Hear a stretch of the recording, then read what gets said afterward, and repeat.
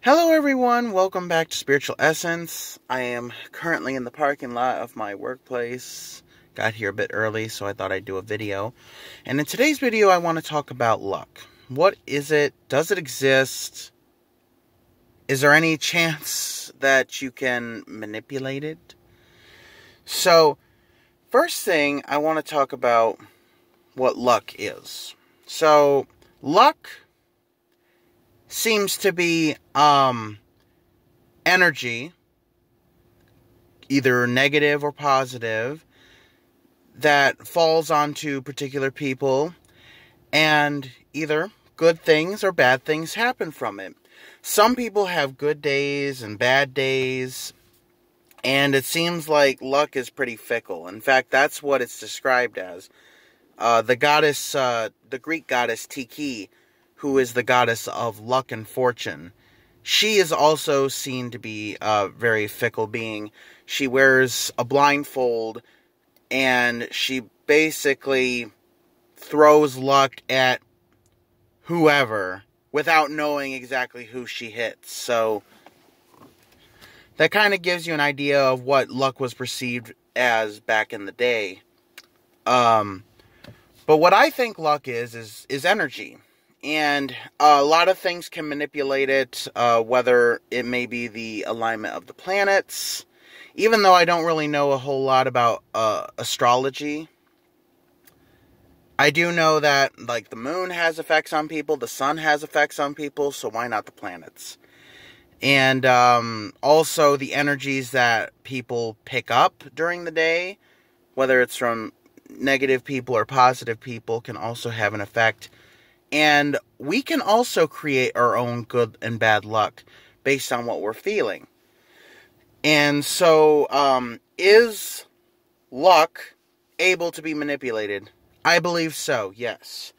While we may not be able to fully control the good and uh, bad energies that come our way, there are things that we can do to help ourselves uh, keep our energies high, keep our energies positive, meditation, prayer, um, spiritual cleansing with moon water, or um, sage or incense that has been blessed.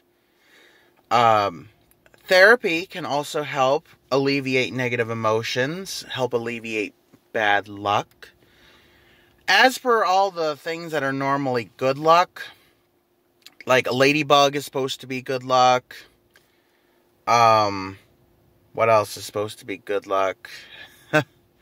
Funny, I'm blanking on them, and yet I I know a lot about luck. Oh.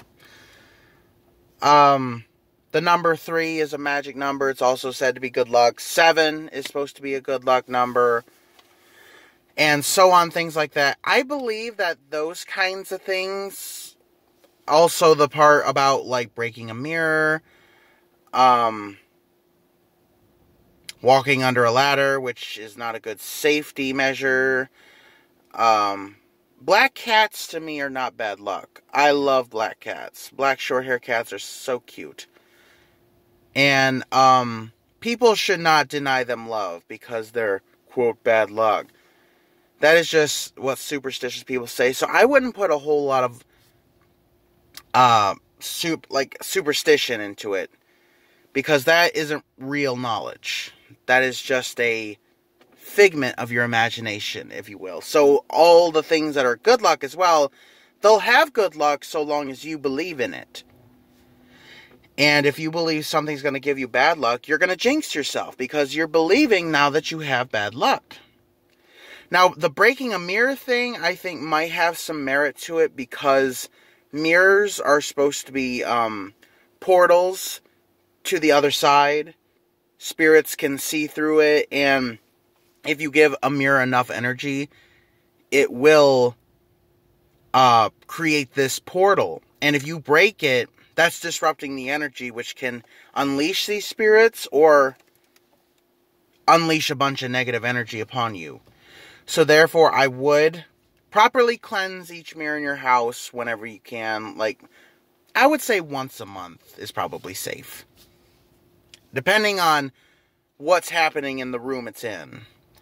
So if there's a room where like a lot of fights break out and stuff, cleanse it once a week. But if it's just an ordinary mirror and it's just like a, a living room or something where people hang out and stuff, once a month.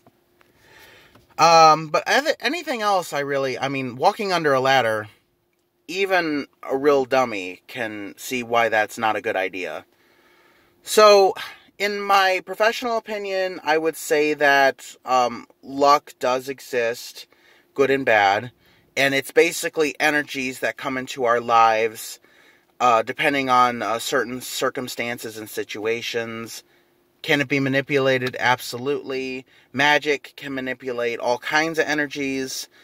And uh, if you are having bad luck, there are many remedies, like I just said, to alleviate that.